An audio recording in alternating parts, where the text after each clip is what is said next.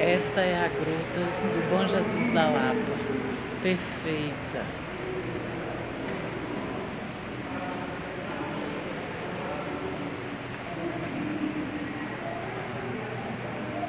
Aprecie essa beleza natural.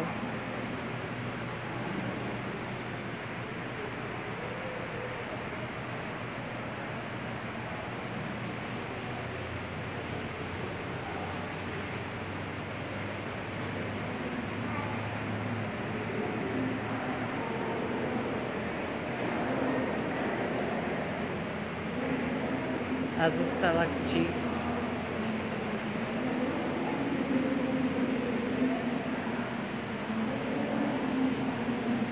Nessa abertura aqui nós vemos a ponte Gersino Coelho.